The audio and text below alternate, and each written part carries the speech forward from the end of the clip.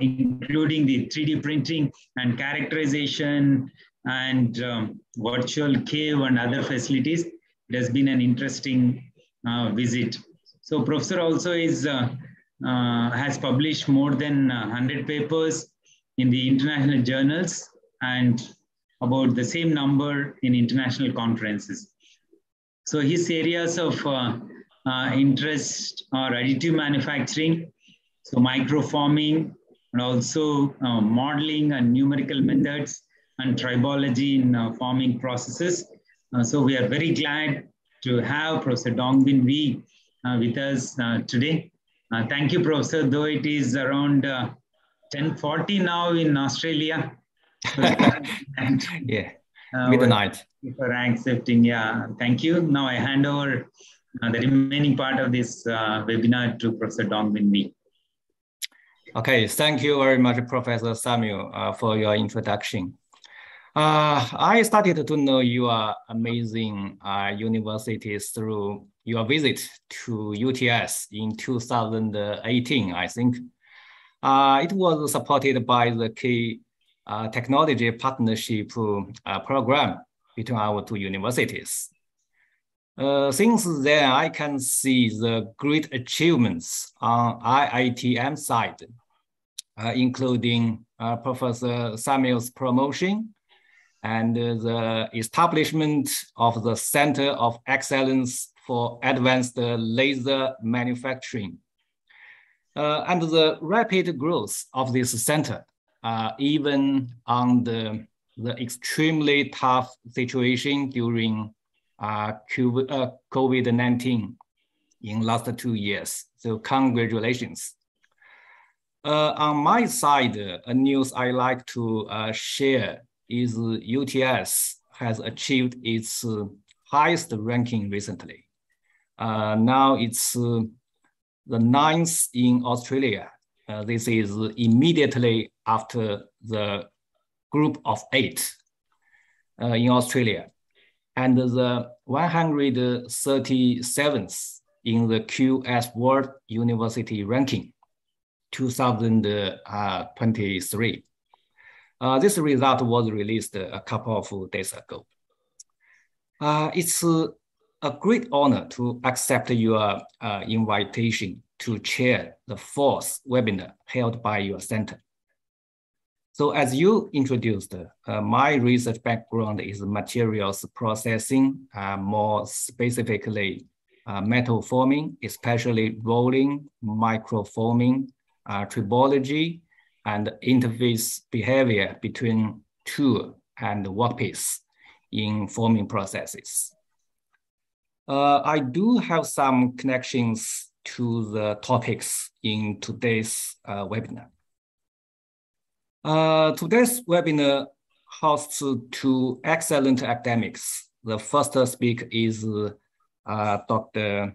Ravi Bathe, and the second speaker is Professor Abhay Sharma. Uh, each speaker will have 30 minutes to talk. According to uh, today's schedule, as mentioned by uh, Professor Samuel just now, the Q&A session will be uh, after the talk by the second speaker.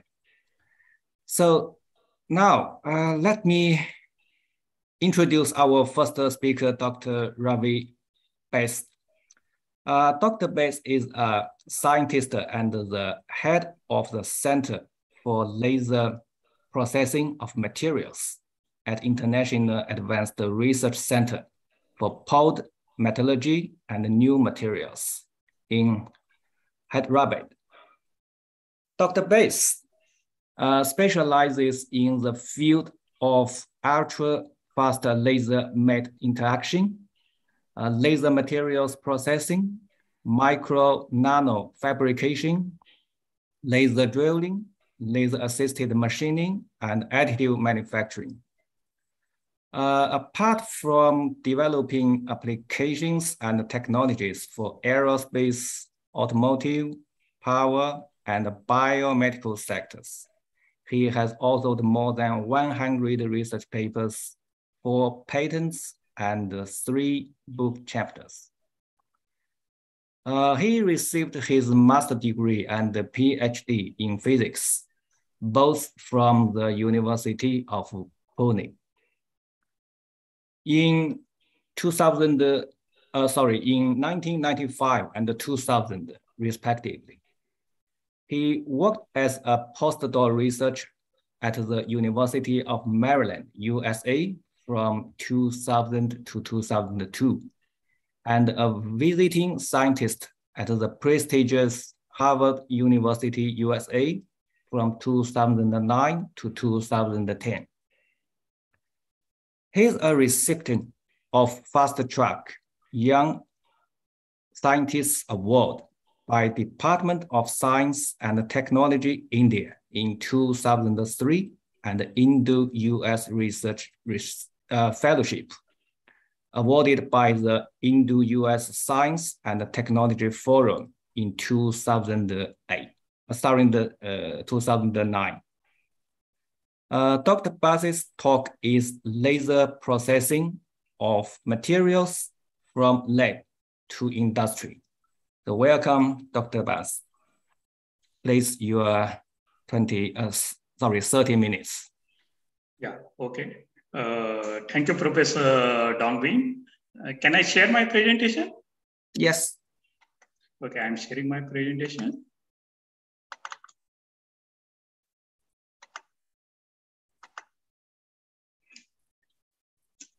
Yeah. Uh, is it visible? Yeah. Okay. Good evening, all of you. Uh, first of all, uh, I would like to thank Professor Samuel and organizing team for giving me this, uh, inviting me and giving this opportunity to present our research at this uh, webinar. Today's my talk is on uh, laser processing of material, journey from lab to industry. In this talk, I will, I will focus on the uh, application developed at ARCI and also trans that transfer to industry. In this, I will also uh, uh, also uh, the challenges we, we face during the transferring those technology to industry. So if you develop any technology at lab, it's not easy job to transfer to industry. There are a lot of challenges is involved. So some challenges, some case studies I will discuss in my this presentation. This is the plan of my talk. First, I will give a brief introduction of the laser, uh, laser processing of material. Then I will go few application developed at our center, like a laser drilling of aero components, then laser cladding of power plant burner tip uh, plates, then laser surface texturing, then conformal cooling channels by additive manufacturing, and finally I will summarize my talk. Before going to my talk, just all now this uh, webinar, all people know what is laser and this thing. I will not go in detail. Laser is nothing but light amplification by stimulated emission of uh, radiation. And three main characteristics of laser, monochromatic, coherent, and highly directional. It's make a different from normal light.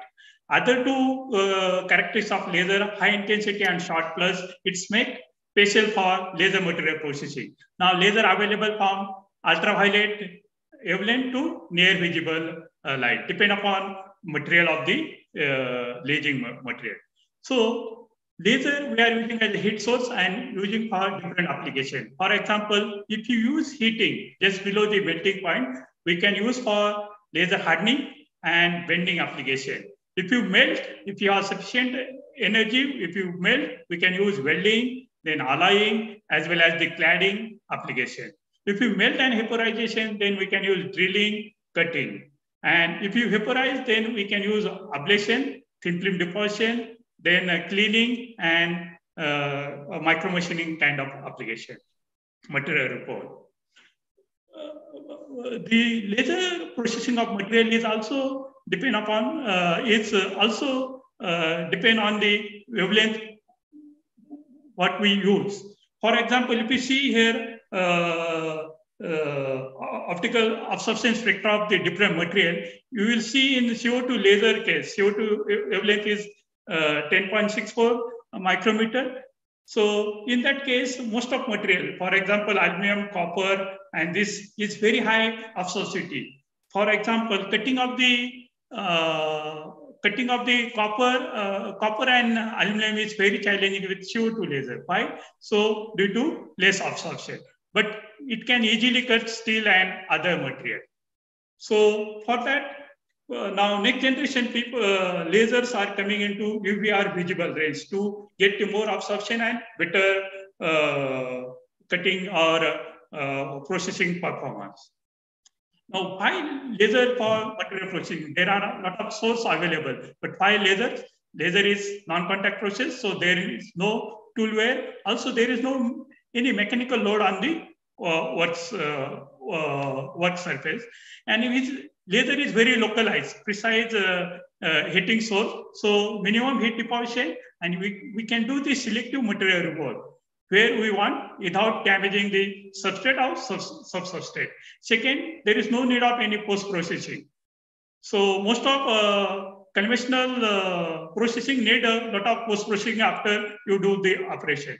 And laser, one can use the wide range of material we can handle. For metal, ceramic, polymer, semiconductor, soft or uh, hard material also, one can process with the same laser. And other advantage of laser is high processing speed. This is needed for, uh, for production kind of application. Industry look for high productivity. So high speed is important with high precision and high resolution is a, another one uh, laser can do. And laser is a environmental friendly. There is no any uh, chemicals or solvent involved and is a flexible process. So laser one can integrate with CNC, robo or any uh, uh, workstation. So it's very flexible. So we can do the very complex component of processing. So coming to the laser processing uh, material, if you see the marketplace from uh, 1986 uh, start and is that time market is only uh, only 150 million, but now 2020 it's, it goes increase up to 5.6 billion. So more than uh, 27 uh, compound annual growth rate is there. If you compare with the conventional processing, only 3.5% uh, growth rate. And in this uh, uh, laser processing, this laser cutting is Uh, more uh, dominant and more mature. So more than 40, 42% is uh, market is uh, laser cutting and then laser welding and then other applications. So laser cutting is, it shows is a, a more mature technology and people now using laser cutting for most of metal or now paper and other material cuttings. So coming to our center, Center for Laser Processing of Material is a unique center in India, is having high power industrial laser.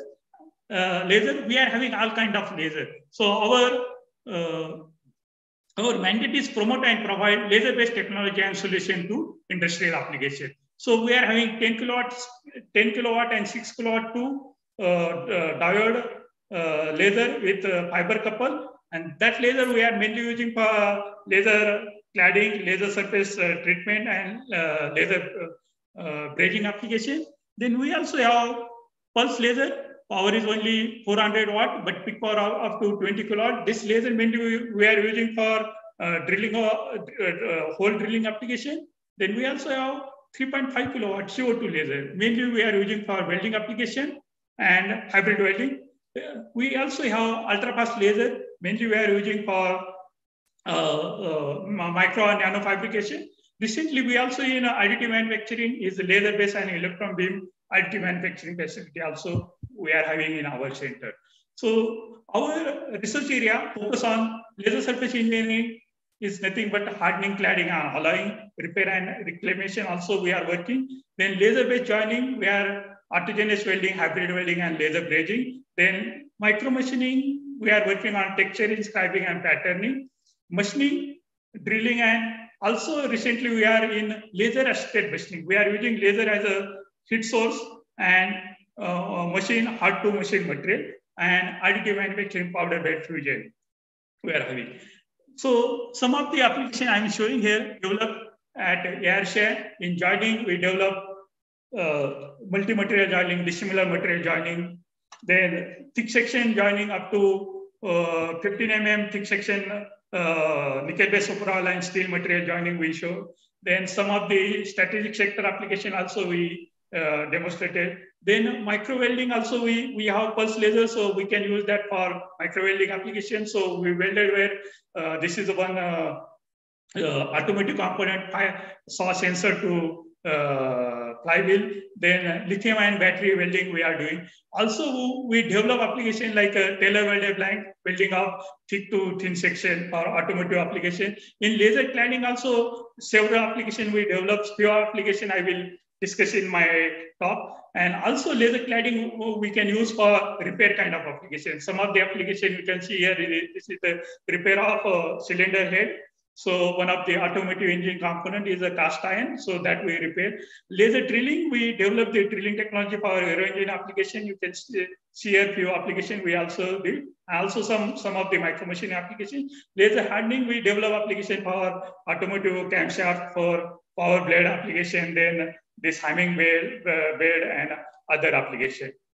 So coming to first my case study is the laser drilling of engine components. Laser drilling is nothing but material removal by melt ejection and uh, vaporization.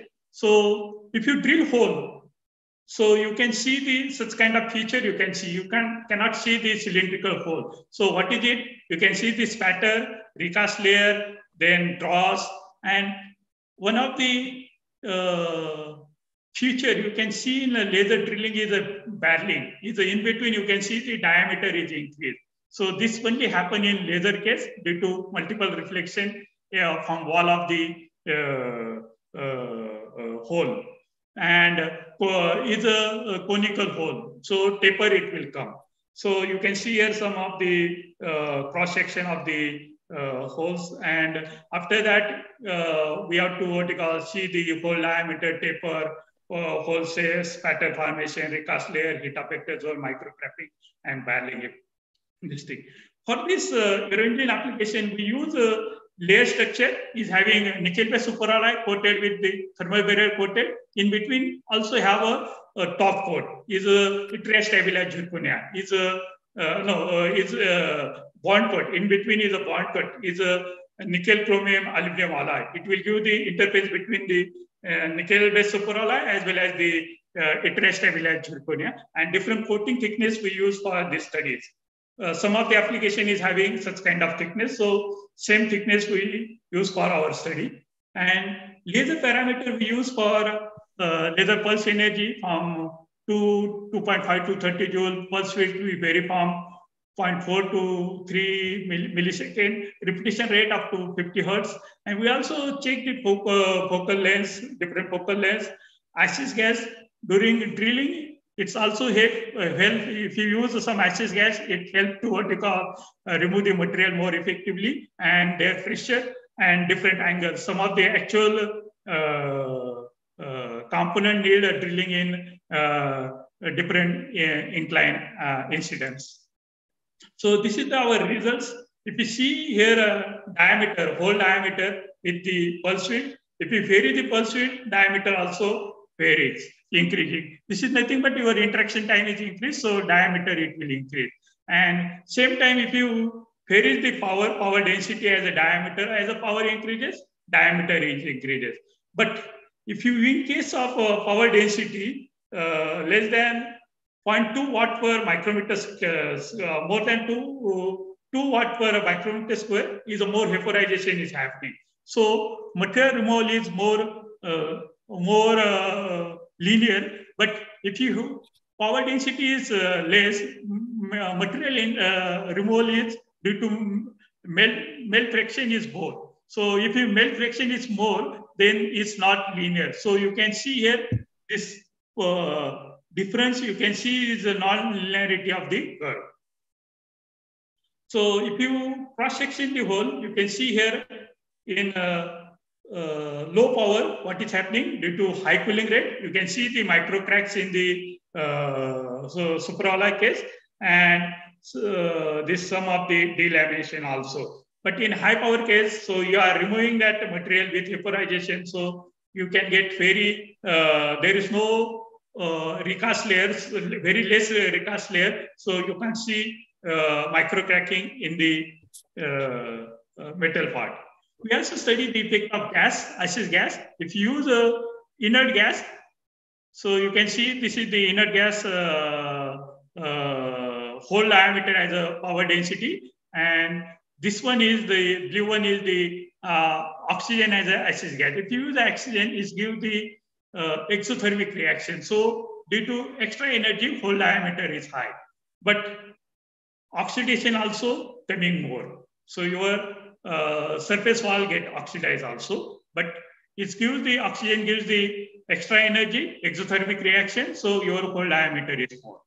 So if you use a pressure also, different pressure, if you high, if you use high pressure, so one can remove effectively melt uh, melt from the hole, hole. So you can see here uh, as the uh, uh, pressure is increased, hole diameter is decreased due to we are removing effectively the material and that heat not goes into substrate.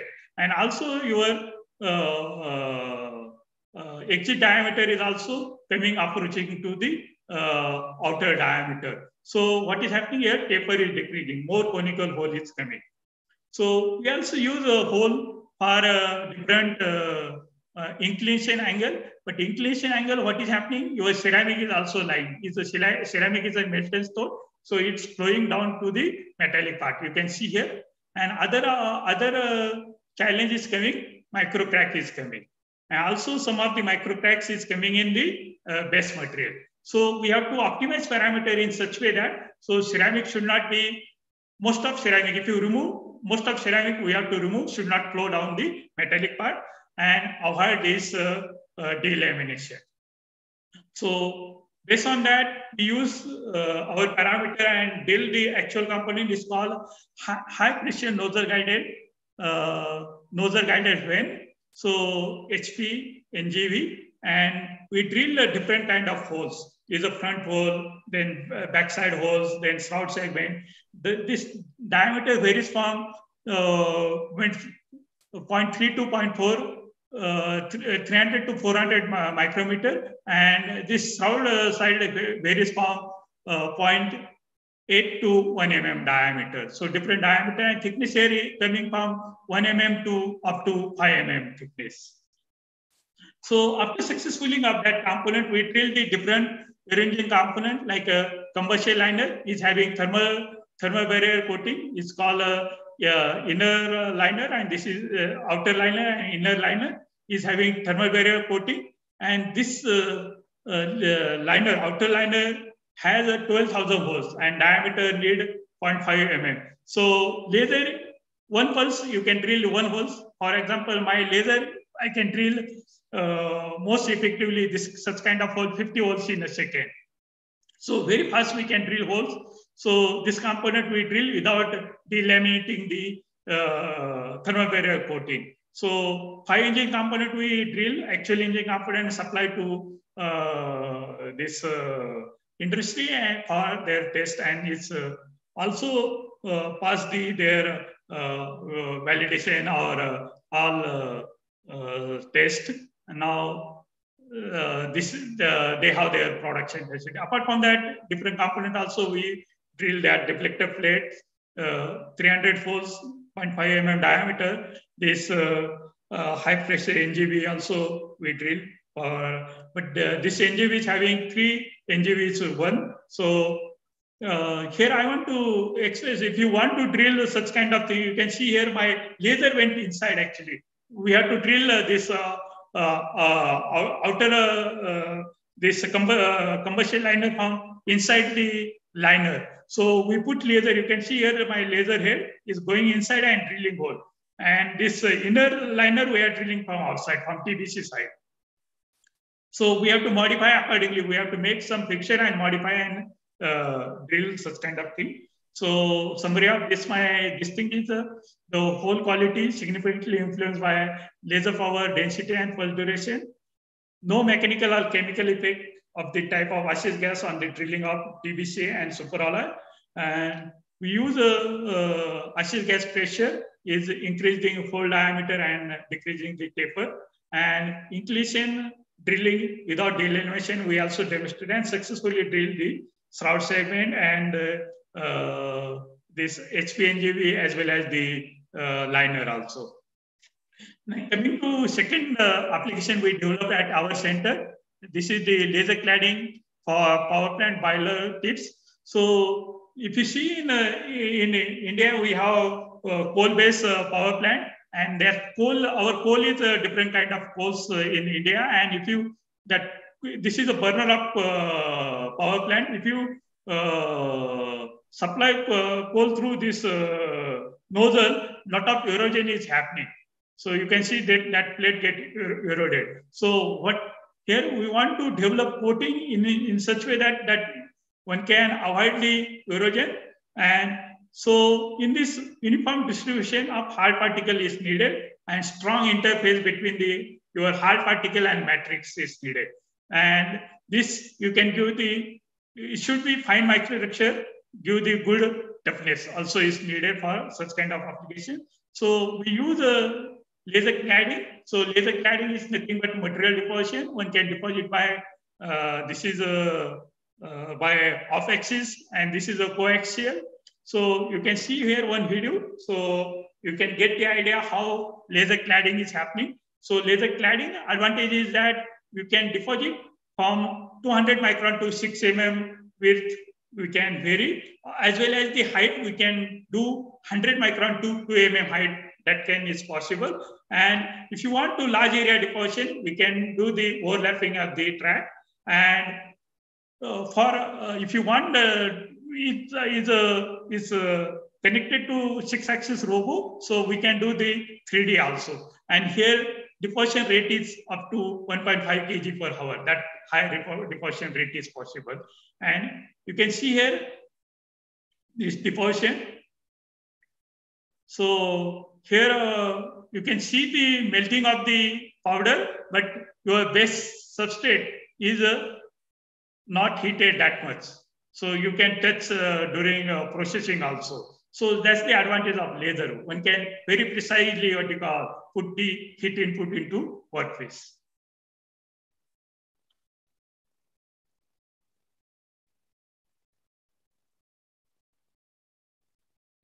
Yeah, this is for only to show the demonstration, one patch we deposited and we are showing here. So after this, you can see uh, this only, the deposited part is only having a red hot, but other part uh, after this, you can see is the room temperature. Uh, Dr. Bathe, we have about uh, 10 minutes. Yeah, yeah, yeah. Okay. So coming to this, uh, we use uh, for this hard uh, uh, ceramic coating, use a uh, tungsten carbide particle in a metal matrix, is nickel chromium boron silicon matrix.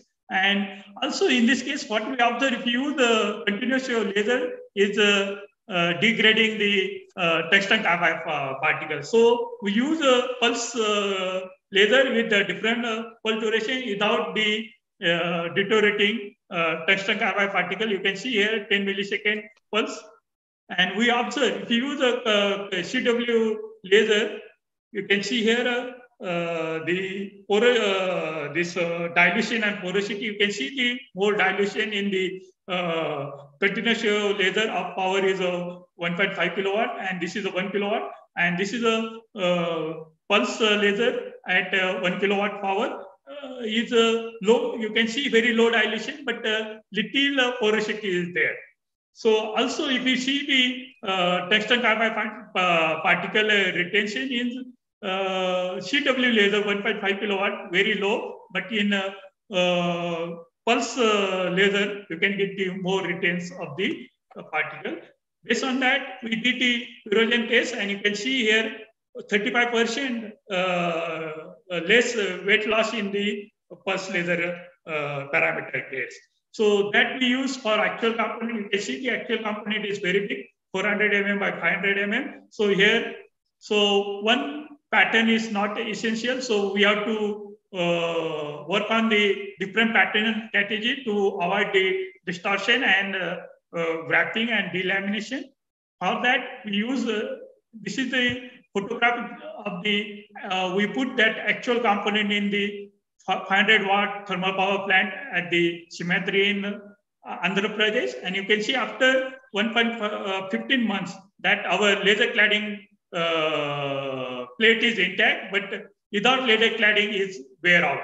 You can see here, but without wearing it, also distortion is other plate is also uh, this thing. This case only one plate we uh, put, but in uh, 2020 February we put this Farakka NTPC Farakka plant completely burner tip, and that burner tip still is running. So this differential uh, energy uh, means, for example, uh, ceramic uh, give the uh, best means 10 millisecond pulse give uh, without deteriorating tungsten carbide particle. We can use a pulse laser, pulse pulse laser for the ceramic coating. Then uh, ultrafast laser. So ultrafast laser, we are having here uh, this uh, ultrafast laser, our pulse duration we can vary from picosecond, uh, 50 picosecond to 100 femtosecond, as well as the nanosecond also laser possible. And in same workstation, we can get the four different wavelength, 800 nanometer, 400 nanometer, uh, 266 nanometer and 527 nanometer also is possible in same workstation. So uh, this ultrafast laser is a non-thermal uh, uh, Uh, uh, interaction. So there is no thermal uh, uh thermal effect coming into the substrate. So that pulse duration is less than electron phonon relaxation time. So there is no heat goes into material. So that's the advantage of ultrafast laser. So no, no thermal damage. Also ultrafast laser, we, we are having very high intensity. So is a uh, wavelength dependent. So any material we can process. We can process the glass also due to nonlinear interaction. Also, we can get the submicron, sub, uh, feature in ultrafast laser. So we can do the micro nano hierarchical structure also possible using the uh, femtosecond laser and identical laser. So this laser we use for the laser surface texturing application. We did uh, this application developed for automotive uh, component is called a piston ring and cylinder liner. The laser texturing is the nothing but dimple, cross hatches, and grooves kind of thing. So what is the use of that? It gives the hydrodynamic bearing effect. If you move to uh, this thing, it will give the hydrodynamic uh, pressure. Also, this dimple act as a wear particle uh, debris debris trap. If you move uh, two particle, third body abrasion is uh, very severe. So if you have such kind of feature, so it trap the debris. And other advantage of uh, laser surface texturing is uh, it gives the lubrication reservoir, reservoir. So it uh, act as a lubrication reservoir. So using our laser, we study the different uh, uh, texture uh, patterns and morphology. So you can see here the dimples, then ellipse, grooves, and cross hatches. And we also study on the uh, this on the uh, cylinder liner, and you can see here uh, effect of the laser surface texture density on the uh, uh, different uh, texture density on the friction and wear. So those result we did on the actual component and we did the engine test and engine test. So very good uh, promising result, reduction in the uh, lubrication oil consumption by 16%. Also uh, low friction and low wear. So this ultrafast laser. So coming to other application is uh, our uh, this additive manufacturing is we use for conformal cooling channel for the uh, pressure die casting uh, pins. So you can see here is a core pin. Generally, pressure die casting, if you want to make a hollow structure, you, you have to insert some pin. If you insert now at present, they are inserting hollow uh, solid pin. If you insert solid pin, there is lot of distortion and uh, heat uh, distortion is coming, and that profile is not uh, what you call hollow profile is not good. But if you use a, a conformal cooling channel pin, you can do the cooling effectively, and we can get the very good shape. This we already did, and you can see here uh, with an without pin also we validated, and uh, temperature is very very less uh, we maintain the less than 100 degrees Celsius the, this uh, pin temperature due to conformal cooling channel. So we reduce a, a heat crack and soldering effect to uh, reduce the number of pores, also the size of the pores. And cooling is a faster and uh, uh, this uh, life of the pore pin has also increased. So in our laser-based additive manufacturing, so we are not having only system, so we are having peripheral also. So laser-based additive manufacturing, you need the design for additive manufacturing, then uh, this uh, additive manufacturing system, post-processing. So we are having uh, one of the uh, unique facilities called hot isostatic press and also vacuum furnaces. So that uh, is needed for R&D of additive manufacturing. Also, we are having a inert gas atomizer, so we can make our own powders, and that powder we we, we are using for uh, R&D of uh, additive manufacturing. And you can see here different component we uh, develop using our additive manufacturing. So coming to my final summary, laser is an intense and precise heat source offer unique advantage to process processing of material for drilling, joining, surface engineering, additive manufacturing, and micromachining. And our center, Center for Laser Material Processing, developed more than hundreds applications in the last two and a half decade and pro promoted uh, use of laser in Indian industry. So I would like, like to acknowledge my colleagues, uh, students at the CLMP, ARCI, as well as the collaborator. I have a lot of collaborators and also funding agency to support uh, uh, this research. And thank you.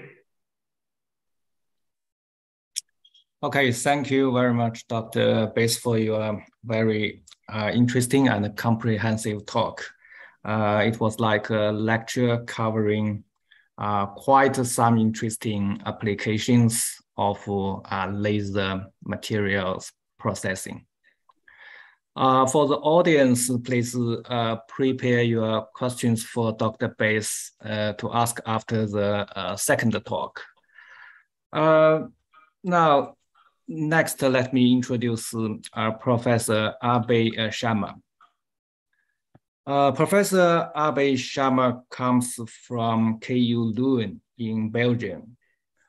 Before joining KU Leuven, he was a faculty member at IIT Hyderabad. Uh, he was awarded his PhD from IIT uh, Roorkee Professor Sharma was a visiting scholar at Purdue University in USA and Osaka University in Japan. He has teaching and research experience in the design, analysis, and uh, optimization of manufacturing processes. Uh, Professor Sharma's current focus is process design for large scale, multi-material, multi-process additive manufacturing. He has published over 100 uh, papers in international journals and conferences and several book chapters. Uh, Professor Sharma was granted national and international awards and fellowships, including uh, JRG REC Visiting Research Fellowship from Osaka University. Uh, the best PhD guidance by the International Institute of Welding through its India uh, subsidiary. National Doctorate Fellowship by the Government of India Teaching Excellence Award by IIT Hyderabad. Uh, today, Professor Abhay Sharma's talk is about laser arc hybrid additive manufacturing, bead formation, and multi-bead overlapping model. Uh, welcome, Professor Sharma. Your turn. Yeah, thank you, Professor. Uh, way. Uh, I'll, I'll share my screen.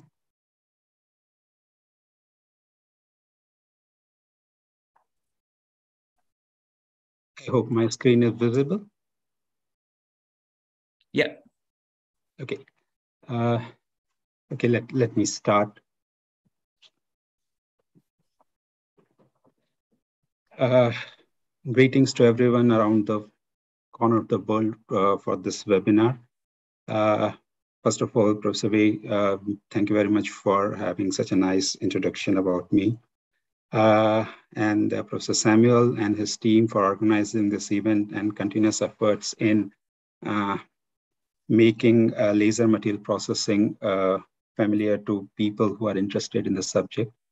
And uh, I also thank Professor Ravi Bathe because giving such a nice introduction about the material processing and you are always having a privilege to have someone uh, who is, who is uh, opening you uh, in such a nice manner so you, I can start it directly on my subject. today I'll talk a little bit about laser arc hybrid additive manufacturing and particular thing which we are going to discuss a little bit is how bead forms and how we can use this process in additive manufacturing.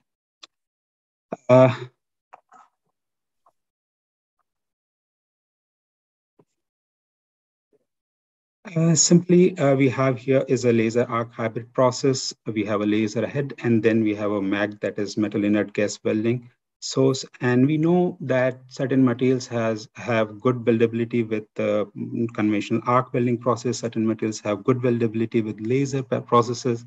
Uh, at the same point of times, there are some materials where they, they are not weldable even with laser, either laser or make uh, or, or welding process or arc welding process. However, there's a, a very interesting case where we can use laser and uh, welding process, arc welding process as a hybrid uh, either lead the arc is leading or the laser is leading and in order to make uh, something weldable.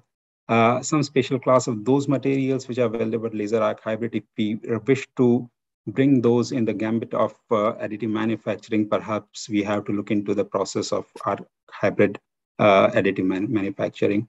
So in this today's discussion, what I'm going to do is uh, basically four small sections will be there. Uh, we'll take something, uh, we'll look into the background of additive manufacturing and DED to make our case. As first, we'll uh, have certain discussion about bead models and overlapping bead models, which is essential for a kind of a DED additive manufacturing process. Then uh, we'll uh, see something about laser arc hybrid processes, how arc and laser interacts and how does uh, this interaction affect the, the deposition process, then we will venture into a little bit in mathematics and see that what is the shape and size of a bead, particularly de uh, deposited by laser arc hybrid, and then see how we can we can use that for additive manufacturing. And in the end, we will uh, try to see few uh, cases where we can say uh, uh the way ahead uh, in multi-material DED using laser and other processes. Let's go for the first part of our discussion, just to have an uh, just to have a small discussion about additive manufacturing and when we are seeing this additive manufacturing.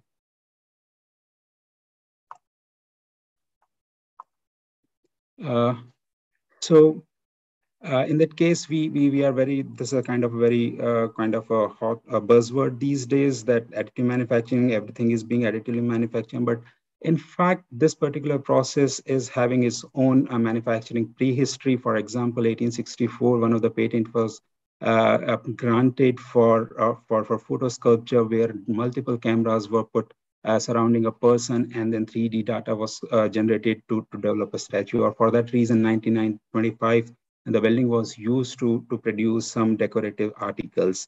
the only thing that everything there was at this point of time was manual with due course of time, we have a lot of developments, and with this, with these uh, developments, we have seen many things in the modern additive manufacturing. What we are seeing today. Now we are at the stage of 2022, and we can say we are venturing into the next generation of additive manufacturing, and where we are today. Uh, although additive manufacturing is here for a long, but uh, very recently we can say the the manufacture additive manufacturing process have been standardized or classified into seven uh, processes like extrusion, metal jetting, binder jetting, sheet metal, uh, vat polymerization, and the last two powder bed fusion and directed energy deposition. The last two are important for us or significant for us because if we are discussing about the metal deposition and particularly direct energy deposition, which is what we are going to discuss today. In case of DED, what we do, we have got a source and we have got a feeding system. Feeding system is feeding powder or wire and source heat source is heating and, and we deposit the material and the way we move the torch, we can have different geometries. Uh, the three most, most common um, uh, processes which are uh, currently being used for uh, laser, for for for DED is laser-based processes or electron beam processes, as Professor Bathe was also mentioning. And, and one of those uh, DED processes is uh, arc-directed energy deposition, which is basically an extension of welding process. Uh, and in, in comparison to other processes like laser or electron beam, we can say the arc-directed energy deposition is quite uh, handy in the sense because we have quite a good background in welding uh, years and years, and it is it becomes very easy for us to convert a welding power source to a to a additive manufacturing head. Uh, maybe plasma welding, maybe MIG weld welding, maybe MAG welding, different processes we can use. Uh, and commonly the arc welding is uh, when we use it for, for deposition, uh, we can use say it's wire arc additive manufacturing. Uh, the point what we can note here is the deposition rates are quite high and uh, we can develop or we can deposit medium to large components. And when we say medium to large components, we are talking about meters, we are talking about two meters to or one meter or five meters even. And as I said earlier, mainly MAG or the plasma deposition processes are used for this uh, process.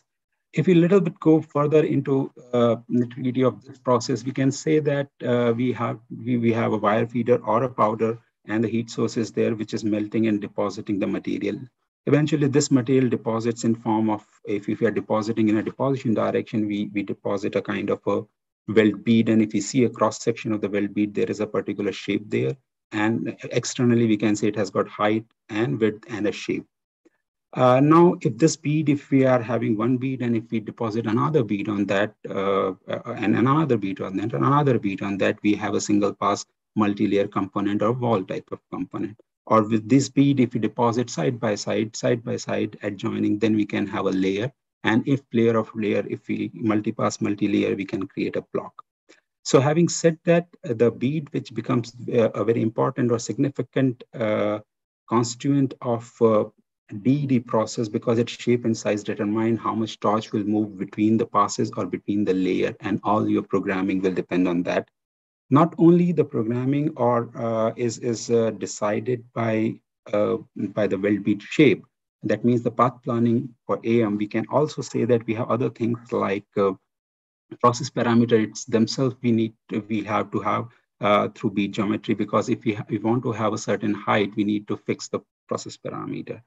Uh, based on the chosen parameter and the conditions what we are using, uh, the bead will decide the dimensional accuracy. For example, if I have a bead which is deposited at a higher interpass temperature, I will have kind of a rough or uh, lateral surfaces. And if that is the case, the post machining will increase. So in a way, the constant bead decides so many things, for, uh, and or basically we can say that it, the process starts with a kind of a understanding of a bead. Having said that, uh, and having said that, uh, the bead is so important, then we need to know the shape and size of the bead. Uh, not only for programming point of view, but in order to deposit materials and without having any voids or gap at the interface, we need to know the volume also and how what is the shape.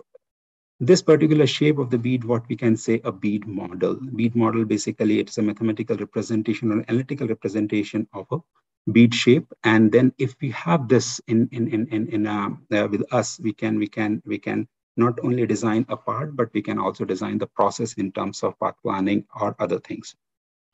So how, how does a bead or well bead looks like, a cross section of bead? In general, typical uh, bead models uh, which are available to us for, for example, gas metal process or plasma deposition, we have parabolic shapes, cosine shape or circular sector. And for different materials and different uh, process conditions, researchers or uh, have used different kind of a in the cross section, but most commonly a uh, parabola, which which represent a kind of a shape of very well represent the shape of the GMAW, that is gas metal arc welding bead shape. Uh, that is good. But at the same point of time, when we are talking about laser and arc hybrid, we we we, we are not uh, aware of. We are aware of, but uh, we are not aware in the context of deposition what will happen to the shape of the bead. Uh, the first question, simple question, is whether the same parabolic or either cosine or circular sector fits into the cross section of the laser arc hybrid bead, and then we can use it for, for further uh, planning for additive manufacturing. uh, we will will see those effects, what laser and arc interaction does to the bead shape. Uh, prior to that, I'll take a couple of uh, more minutes to you that how this bead shape will further be used in case of additive manufacturing or DED-based additive manufacturing. Uh, this is the block or a multi-layer, multi, uh, multi-pass, multi-layer block we have already seen, and we can now easily visualize that if we deposit a pass one or a bead one and adjoining bead two and bead three, uh, then we can generate, we can, we can have a surface as such. Now we need to have this surface as smooth as possible because one surface, the one layer or the top layer of, of uh, top surface of the layer will act as a substrate for the next uh, layer. So for that reason, we need to have the placement of beads side by side at a certain distance, which we call offset distance. Now, we see that if the offset distance is something which is that which is very small, that means the beads are very nearby, then there may be a chance that in place of flat surface, we can have a kind of hill, uh, hill type of structure. Or if they are too far, we can easily visualize that it will be having a kind of valley type of structure.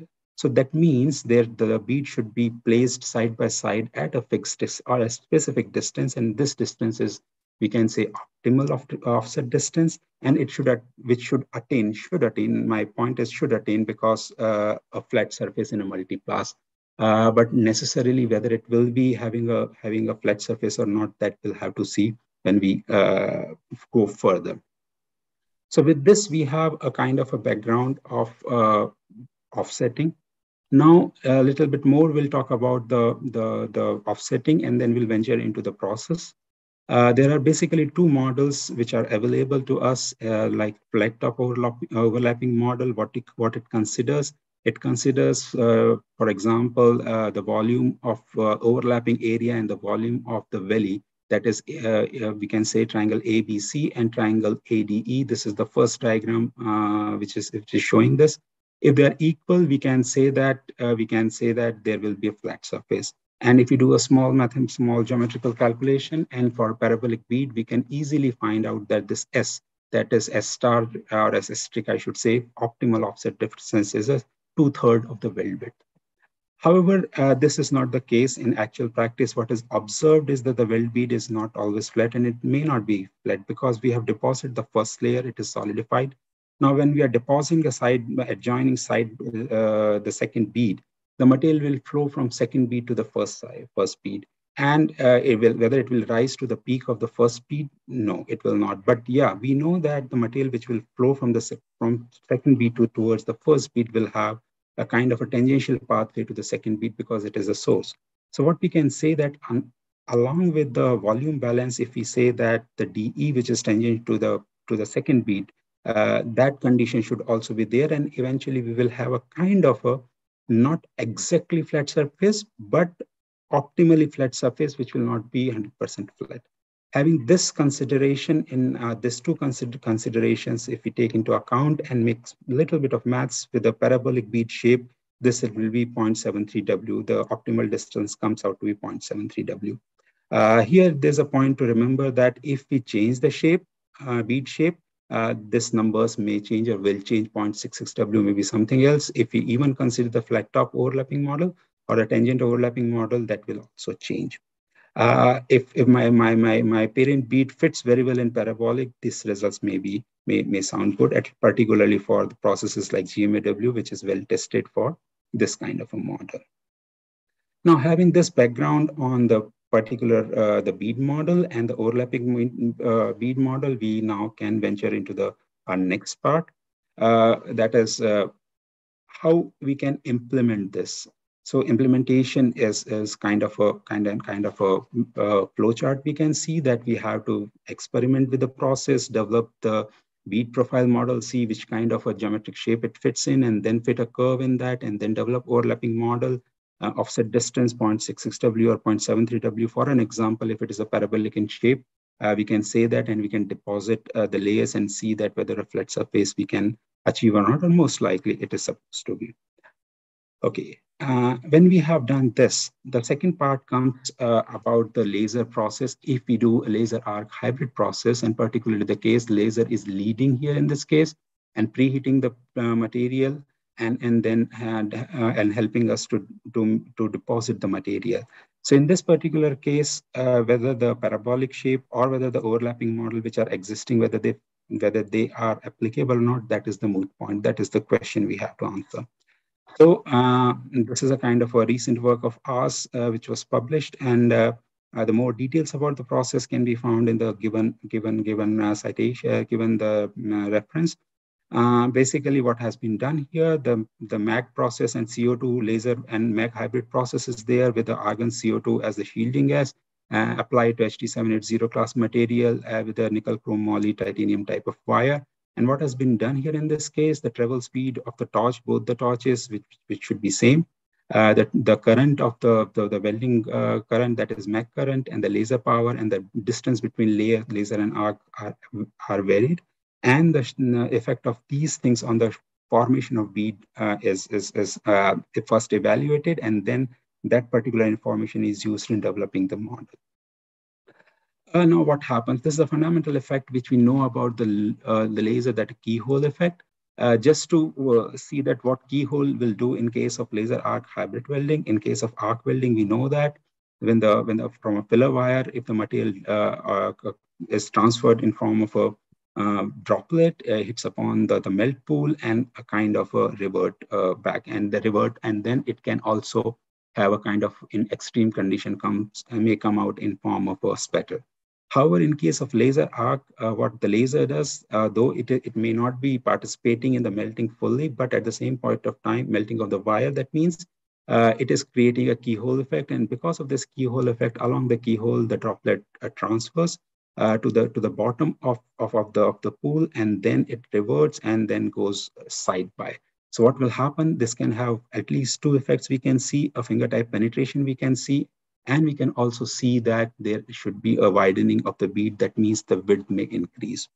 The finger type penetration, perhaps we know we, we do not require for uh, arc, uh, for for additive manufacturing here in this case, but the width will have a kind of a thing which we are interested in though we can choose, choose the parameter in such a manner that the, the finger penetration is, uh, is, is avoided.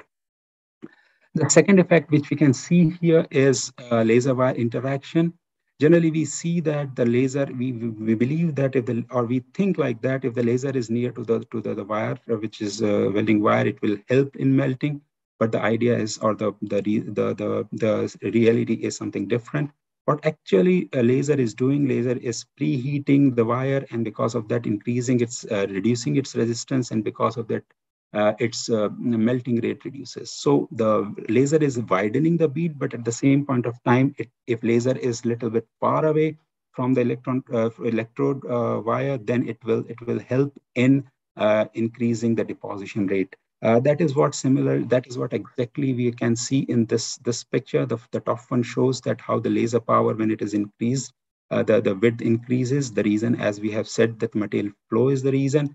And we can also see if the laser arc distance is increased, the, the area that is the uh, deposited area further increases. It, it, it looks like little bit same, but if we minutely observe, there is a difference. And in certain cases, this difference can further go, which is quite reasonable.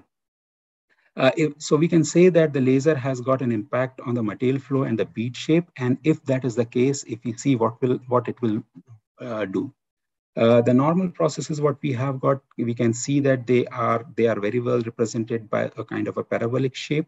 Uh, but if we compare, if we try to fit this parabola shape to a laser uh, arc hybrid bead, what we are saying it deviates.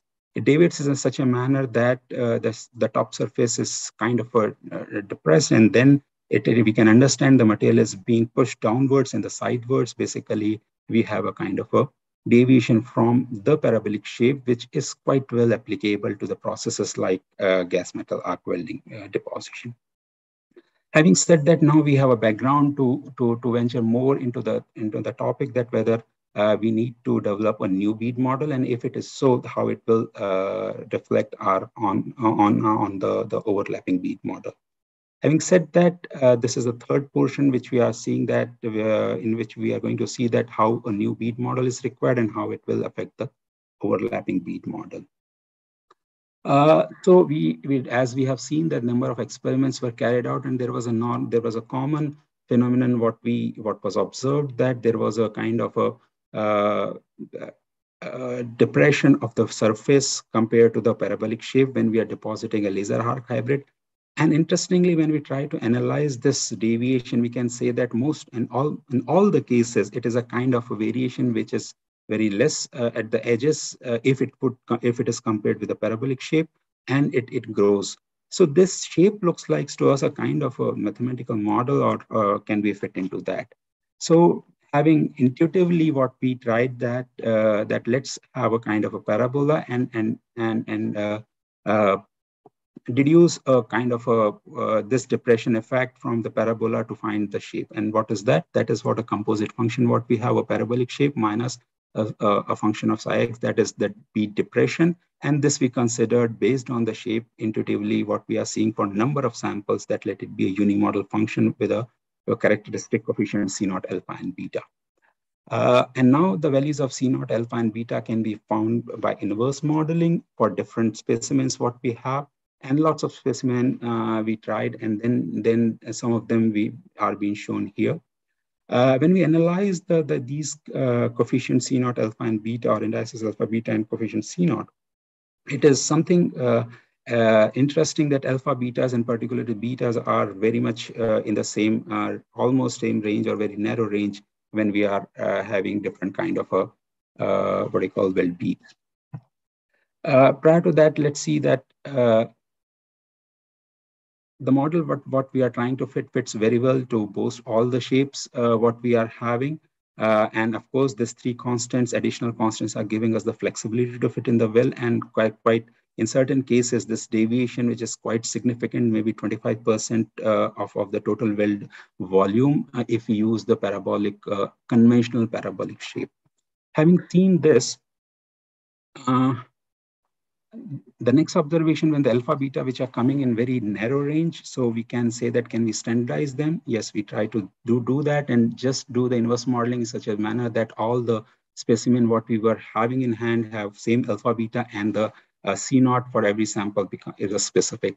And we could find that yes we can very well fit the standard curve where all the specimen for this particular material and this particular gas and Y combination have the same alpha beta value, and then C naught uh, becomes the sole representative of the depression effect, uh, which is there because of the laser arc interaction. So having this model in, in hand, uh, the next step is, of course, to find an overlapping bead model. And we have the same approach, FOM, that is uh, an, an TOM model as we have seen earlier. However, we are finding a difference, little bit more of mathematics. Uh, because now the shape, basic shape has changed. So some calculations are changed and then you have got a kind of a not so difficult, but you can find a find a new uh, uh, new equation or new expression for offset uh, optimal uh, offset distance in form of C naught alpha beta or gamma function of alpha beta, basically shown in red here, which is basically effect of coupling of laser with arc. Here we are seeing that uh, compared to the conventional parabolic model, our offset distance has reduced a little bit uh, and this reduction depends on the C naught, which is which we have seen depends on uh, which, which is basically a representation of shape change in bead uh, surface as a shape, uh, and that represent the variation in process parameters as well. But still, we are not sure that whether this model will fit or not. So what we try to do, we try to do the TOM model, and again, though it looks like a like a like a kind of a parabola here, but what we have used is basically a composite model what we have developed. Here, there are two conditions. As we know, we have already seen the condition for tangents, uh, BC. That means tangent coming from the second plane uh, to uh, from the second bead to the first bead. And of course, we have got a volume balance. Uh, however, the integral of this particular equation becomes a little bit complicated and we couldn't find an analytical solution for a simultaneous solution for these two equations. So for that reason, we have gone for a kind of numerical uh, solution where we are solving both the equation and trying to find that where their uh, roots uh, or their solution uh, merges. By doing so, now we are having a kind of a uh, results for the TOM uh, based offset distance as well. And we have seen that we have the FOM based results also. And this all depends on C naught and C naught is process dependent. That's why it is not a no more a fixed value like 0.66 or 0.73 as we have seen earlier. So the crux of the matter is that what we have to choose whether FOM prescribed or TM prescribed. Uh, in order to mitigate or in order to resolve this issue, what we have done, we have uh, in this work, different samples were deposited at different offset distances and see uh, which of these offset distance make as flat as possible or maximal flat surface. So having having one side the experimental uh, data with a, with a with a process condition which were offering us a flat surface, and other side we are having two FOM and TOM based prediction. And when we compare that, we find that all the samples, which all the conditions which were giving us the flat surface, which were lying between FOM TM, sometimes extremely at TOM, sometimes uh, the, the, the offset distance prescribed by FOM, but they are not going beyond that. So now we have got a kind of a conclusion that Offset distance in the laser arc hybrid additive manufacturing is a kind of a dynamic parameter that depends on process condition. And it is unlike the previous study where we assume, a, we find a parabolic shear fitting in all type of the weld beads and then find a fixed value. So this is a very important invest, important results from, from this, this particular case, although it makes our life a little bit difficult because every time we have a new material and new process, we have to uh, find a new kind of a uh, bead representative model, but it is worth doing when we do not have the other processes like GMAW, which have which doesn't uh, which do not uh, offer uh, quite a deposition or the weldable uh, material for in a, in a, certain case. Having said that, I'll, I'll, because we have limited time, maybe three or four minutes left. I will I will complete this task to just having an small discussion about how further on the bead model side, uh, what we can go do. So there are def definitely different ways we can we can think of a couple of or few of things what we are doing. Just like to share with you. Uh, the the material what we used earlier was uh, or up to this point of time around the world only single material is being used for uh, deposition and for that we do have the model available. Now the question arises if we have to have a uh, deposition, and, and then it becomes interesting. Uh, if there was a single material, we have got material uh, bead 1 and bead 2, both are identical in size. Now, if we have to program multi-material, as we are seeing material A and material B having a, having a bimetallic wall, one layer or another, uh, to, to, to have this wall, we have to deposit first two beads of same height, but the materials are different. And if we control this height, the widths will be different because the materials behave differently. So in that case, first of all, the multi-material approach becomes we have the bead one, we have bead two, two different bead profile models, and then algorithmically we have to find a set of H uh, and W1 and W2, or set of W1 and W2 which gives similar H or same H. And then we have to find this and apply to a multi-material overlapping model and then find the offset distance uh, it becomes a little bit a double of a task. Even it becomes a little more than that, but it's worth doing. I will show some of the uh, results, initial results on this. And uh, you can see that there are different uh, specimens are there and some of them are ticked with a green where we are using the FOM model and TO model for multi-material case. And we are seeing that although all of them are uh, prescribed by the by the corresponding model as a ops, uh, the offset the optimal offset distance, but it is not happening all the time. That means a spatial or a specific set of heights can, are only uh, possible to provide us uh, a kind of a bead uh, or flat bead what we have. Uh, this is still in, under this research is still under progress, and in, time to come, I'll, we will be able to show uh, you some different, uh, some interesting results. Uh, another two aspects which I would like to share with you about, for example, which we are seeing in a in, in a practical cases we are doing, or or, or uh, beads which are not symmetric. We need to have tilt the torch sometime, or we to use uh, twin wire, for example, torch, which gives a, a kind of a asymmetric bead. So the bead models available to date are primarily for symmetric bead, but in case if, if it is torch is tilted, asymmetric beads are happening. If we are doing multi-material, then we have to tilt the torch towards one material to balance the heat or or uh, or even further metallurgically balance the the the, the process. Uh, in that case there is a chance of asymmetric bead and if it, that is the case we have to have new models here. In this case we i'm showing uh, the, the the model is uh, bipolynomial model uh, wherein two different curves are being used for the left hand or right hand side and they are merged and then uh, the bead shape and then further it has it has its own TOM and FOM model. Uh, the last thing, uh, which is something which is something the industry is also uh, looking for, or which may be interesting, not only asymmetric bead, totally, if I do have a process which is creating a totally a bead shape, which is uh, which we can't solve uh, analytically. This is not an additive manufacturing case, but this is a case of laser arc hybrid left fillet bead, but the bead formation here has been uh, difficult for an analytical model to predict. And therein, we have discretized the shape. And then after discretization, we have lots of data. And in that case, and in that case, we have got a kind of a lots of a large data set. And if that is the case, a neural network model can be trained. And we can have also the soft computational model for prediction of bead shapes. So this is a possibility which we, which a uh, couple of publications are available, but this something this is something uh, definitely going to grow when we need to develop so many process variant and for so many materials.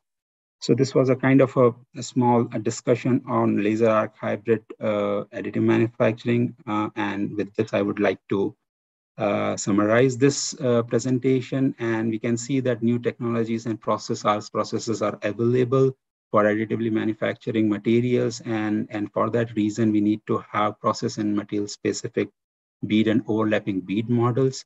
And of course, when we talk about the hybrid process like laser or, or, or laser arc, hybrid laser has significant role, though may not be fully responsible for melting, but it changes the shape and the size of the weld bead, which eventually affect the deposition process when we talk about additive manufacturing. And eventually we are venturing somewhere uh, in machine learning based bead models where we have a kind of a, where we would be able to address very complex shapes that might not be uh, resolved by analytical method uh, at this on this date.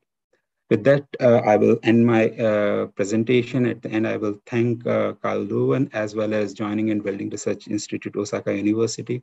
This particular work on a laser arc hybrid welding was in collaboration with JWRI. Uh, thank you very much. And now I hand over again to Professor Wei. Okay, thank you very much, uh, Professor Sharma. Uh, this is a very focused um, uh, talk. Um, I can see you have already generated quite some uh, very good publications uh, based on this uh, okay, now I think we have uh, some minutes for Q&A and uh, okay, here, uh, firstly, Rajiv Kumar, please, your question.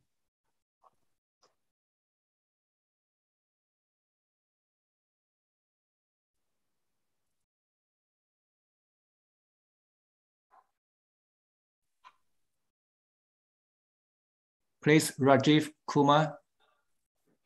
You are mute. Uh, Rajiv, I've enabled you. You can uh, speak now.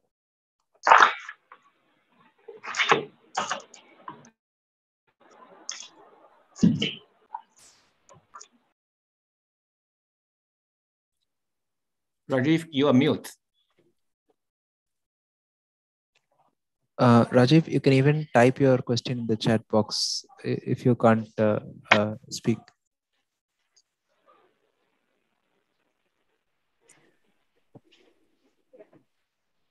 Okay, let me um, firstly, let me check uh, the Q&A here. Okay, uh, I think uh, here a question is for Professor Sharma. Uh, okay, do you have any uh, postdoc opportunities from a student? I think. Uh, perhaps this would not be the this one right platform to answer this, but yes, of course, uh, uh, my email ID is there on the first slide, uh, uh, and you can contact me. And if there is a kind of mutual interest we'll see that. Yes, that's the best way, I think. Uh, the second uh, question I think is for Dr. Uh, how can additive manufacturing help in a semiconductor foundry process? And is there someone in India working on SU, uh, XUV, free electron laser-based uh, lithography?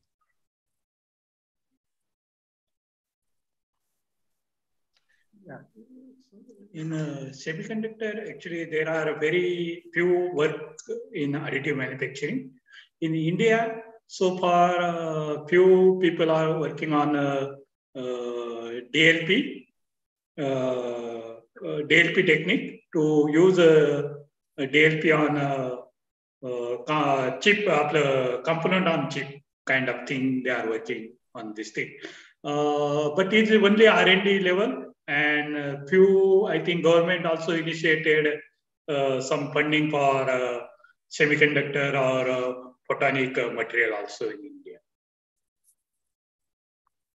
Uh, free-electron laser or pre that I don't have any information. So might be I think uh, Professor Sharma may knows uh, more detail. No, I, sorry, I also do not have a particular or specific information about this uh, case. Okay, thank you. Uh, next, uh, Janik, Janaki, please ask your question. Uh, thank you, Professor. Is it audible? Yeah. Am I audible? Yes, it's audible. Yeah, yeah. yeah, yeah. Uh, first, I would like to thank for your uh, very, very good, interesting uh, session. I think uh, both the speakers I know. Professor Abhay Sharma, I think you, you, you recognized yeah. me, right? Yeah, I'm from Ethiopia. And, yeah. Yeah, yeah, yeah. And uh, Professor Ravi sir, I think I met uh, you in yes, your office. Yes. Yeah. In ARCI. So currently, I'm still in Ethiopia, working as a director for the Center for Manufacturing Engineering. And Good. thank you very much, sir, for your session. But I have only two questions. Mm-hmm. Because I am a solid state uh, welding uh, specialist, Mhm. why I should go for laser welding? Uh, what is the because now the laser welding almost uh, people are not interested towards the laser so now why should i prefer Okay. so it's like a research question aspect yes sir Yeah, laser welding, one uh, big advantage, you can get the very localized process. So you can do the very precisely welding. For example, and depth penetration is the other advantage. And third advantage is a processing speed. You can get very high processing speed. So still, as you say, is still in R&D level. It takes some time to go into the industry. And, And sir, you are also showing us- in, uh, mi- micro welding, laser is very precisely. So you can weld, uh, for example, now lithium ion batteries. So people are using in production also laser in lithium ion battery welding. So their heat input is very much important. Very precisely heat, heat input is needed without damaging your cell. You have to weld.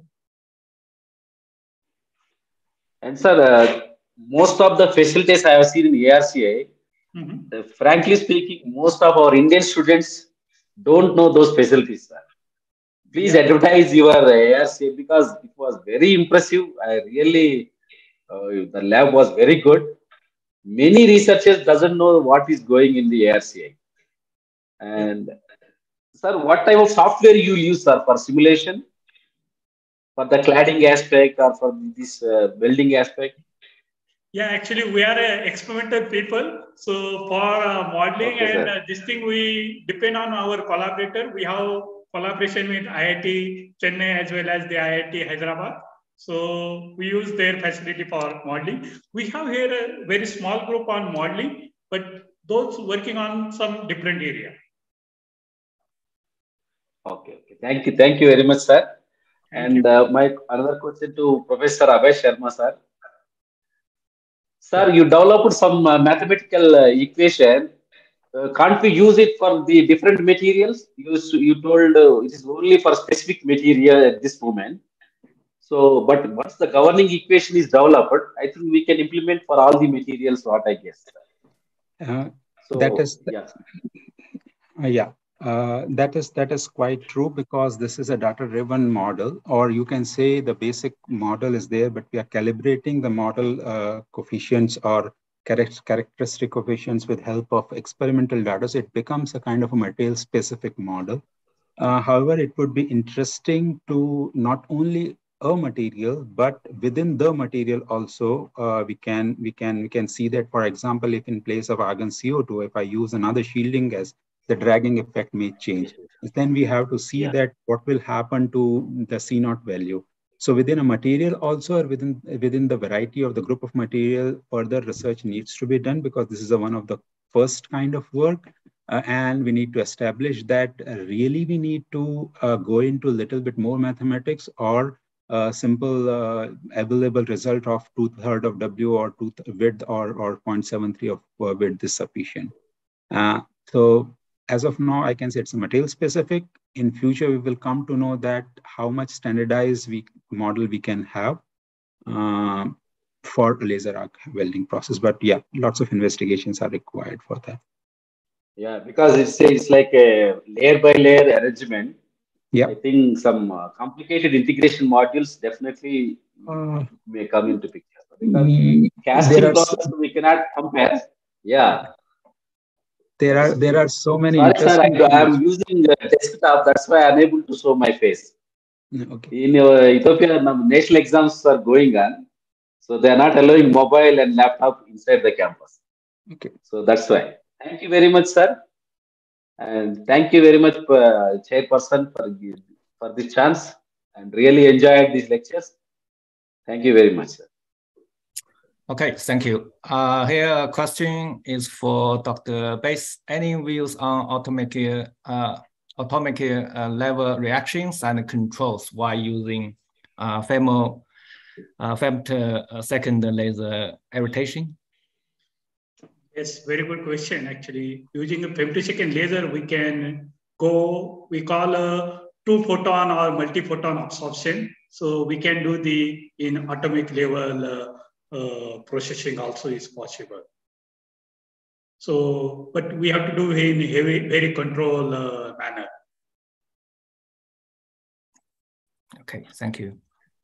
Uh, next question is for Professor Sharma. Which additive manufacturing process is best for laser arc?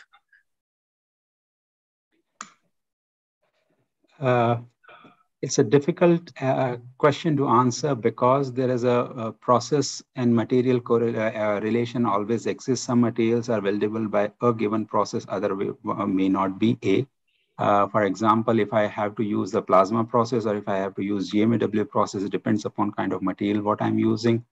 Uh, so uh, it, it will be a kind of a risk to generalize this, uh, but yes, uh, how we can how we can resolve this issue, uh, particularly of about the using wire-based processes, because it, they are coming from the welding process, and welding has got a long history of. So we know about the weld weldability of the materials, what process and the material combinations are weldable. So it, becomes a quite of easy task for us to go back and search for this particular material and the process combin combination, whether they were working for arc welding or not. If they were working for arc welding, there is a highly likely a chance that they will work for uh, this process also. However, there is a kind of a, so many things which we need to see because even for that matter, uh, the multi, multi pass welding, which was not, which is not used uh, uh, for, for, all the time, uh, that with those results, if we are having, then further it, it will help us because if we have a thick plate and we are depositing multiple passes there in a kind of a pressure vessels application or piping application, those results can be useful. However, uh, with a kind of a uh, remark that uh, the type of cooling what we are having because of the body of the workpiece in the welding and type of deposition what we are having in case of uh, the generating surface, there may be difference. So my in crux, I would like to say we do have the initial conditions in hand. We have to match the boundary conditions. Okay, thank you. Uh, I think we are running off, uh, running out of our time, but um, uh, may I spend uh, two minutes to talk about uh, why arc additive manufacturing? This is for a question for Professor Sharma. at UTS, we are starting two topics. One is ultrasonic additive manufacturing. Yeah. And this one, yes, this one, uh, I think you know, is actually a plastic deformation and tribology uh, based. Uh, yeah. Of course, yeah, of course, laser processing can be used for in this technology because yeah. in this technology we need to machining actually. Yeah. uh, this is one of the topic, but I'm not going to talk too much about this. Uh, another thing is about wire arc additive manufacturing. Uh, you are uh, conducting uh, a lot of research here.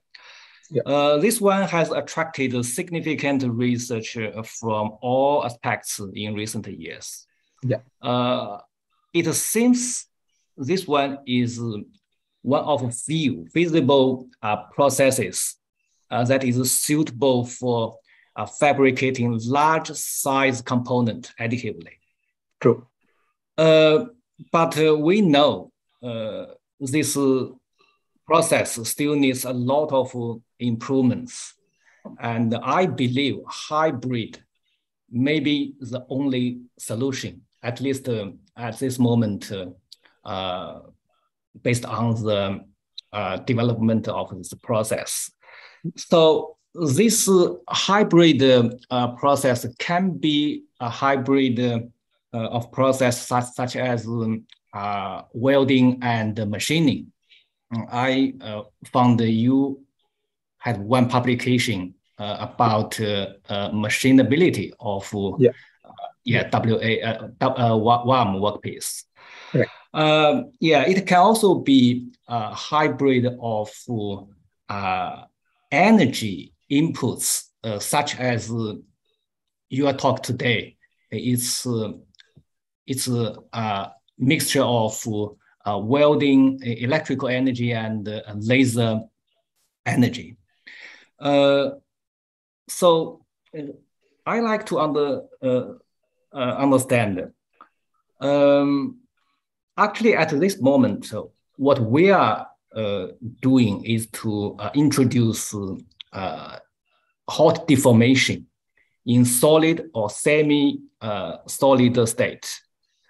The purpose is for reducing defects and improving mechanical properties of one uh, yeah. workpiece. Yeah.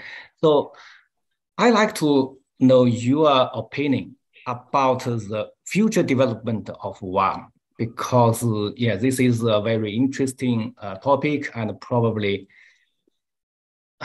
probably one of few, yeah, you know, feasible uh, process for large component.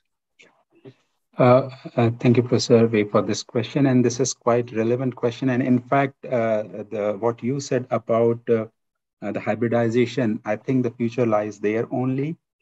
because, for example, if we talk about a DD or different type of DDs also, and they do have a different deposition rates if you're talking about different deposition rates, that means the volumetric deposition uh, also is, is, changing. For example, for that very reason, suppose in a in a, in a very um, crude way to say that, uh, I am seeing that uh, the the large the large portion of the large structure is done by WAM, and the and and the finishing is coming either by kind of machining or it is coming by the hot uh, processing as you suggested, or it is yeah. coming by further deposition to fill those irregularities. Yeah. Right. So in a way, we can say a cladding also. So in a way, the idea is idea is that uh, to if we are, have to machine it, minimize the machining. If we have to hot roll it, we have to control the surface in such a manner that the uh, the hot rolling doesn't require such such a plastic deformation. That means plastic deformation is sufficient enough to not only mechanical uh, development of mechanical property or enhancement of mechanical property, but at the same point of time, they are creating uh, uh a smooth enough surface that requires uh, that doesn't require further processing or or least processing. So somewhere i can i can see that uh, uh, that that uh, the hybridization of process will bring in uh, resource efficiency in the process where we have to have we have to waste least amount of material in uh, post processing rather than the post processing will be there for improvement of properties or surface properties so uh, that is what definitely I, I can see at least from uh, my my limited perspective, I can see those things are definitely be there. Either either uh, uh, hybridization, I think, is the is the key. Whether the heat source to heat source hybridization or two manufacturing processes, they are they are they are definitely be there. I think. Okay, thank you. Uh, thank you very much. Uh, sorry, I missed uh, one uh, question uh, just now. I think this will be the last question in this um, uh, workshop. Okay, so this question is for Professor Sharma. Can we have control real-time uh, heat input for multi-material for having uniform deposition? Very interesting question, very challenging question, uh, challenging answer to say. Uh, not uh, because even for that matter, single material controlling of the heat input, uh, uh even if we are able to do that, uh, whether it will resolve the problem, we don't know. The reason being, uh, the geometry or the volume itself is developing. When I'm when I'm depositing the first layer, the heat conduction is there from the substrate. But as as we are keep on depositing layers, right, the convection comes into picture. So the the the the heat uh, cooling effect is, is also so dynamic. Uh, so I do not have direct answer to that, but in one of uh, my previous work, what we have tried to do is to uh, simulate uh, through simulation. We try to find an answer for for this control and how it is that the what we try to do that the thermal model, a simple CF, simple control volume method uh, based the thermal prediction and the related to the hardness. And by doing the some process changes, if we can see that hardness of the section is managed or uniform or relatively uniform, we can say the heat input was taken care of one way or another way. So at this point of time, uh, it will take some time, in my opinion, when we will be reaching to some condition where we will have a, such a control of heat input that uh, everything is taken care of. And particularly to take that knowledge to further level of multimaterial, I, I still see that it is a, we have to wait and we have to put efforts in this direction. Um, the community uh, is, I think, working on this, and definitely in next few years we will have answer to this. Okay, thank you very much, um, Dr. Bathe and Professor Sharma. Uh, now I think I can hand over to Professor Samuel. Yeah, um, yeah, thank you, Professor Dongbin. Uh, Professor Fani Kumar, you have anything to comment? Uh, no, no, I'm very happy to listen to the lectures. I enjoyed being part. Yes. Thank you. Okay, thank you. Uh, yeah, it has been a uh, wonderful time and it was very informative. Uh, thank you uh, very much so now I take this opportunity to uh, thank uh, uh Professor Dongbin for uh, taking time, though it is uh, late in the night, and then strictly controlling the time. So that is actually a, a big task, but you have maintained the time very well. And thank you for make it uh, more, making it more interactive and interesting. Thank you, Professor Dongbin. So we take this opportunity to thank Dr. Ravi Bathe so for giving insights into the uh, hardware which is available and also the processes which are being carried out. So many times, so they do modeling, but here uh, real work is being uh, done. So thank you, uh, Professor. So probably as uh, uh, Janakiram Loser has uh, suggested, we need to make the people to know there are several uh, facilities here, right? Even in IIT, there are so many facilities, but students and other community doesn't understand. So that is the reason why uh, now we have these kind of webinars. Uh, so hope uh, this is being informative. Thank you, Dr. Ravi Bathe. Uh, thank you, Professor Abhay Sharma, uh, so for taking this time to share from KU Leuven. So I think it's becoming evening there. So thank you yes. very much for all the insights, both uh, modeling and also uh, the hardware which you have developed. Uh, thank you very much. So we also thank all the panelists, uh, Professor uh, Dr. Janaki Ramlu and Professor Fani and other people who have been helping us. So as you all know, these webinars are being conducted as a part of proposed Center of Excellences which have been established in IIT Madras through the funding of uh, central government of India. So they have recognized IIT Madras as one of the institution of eminence.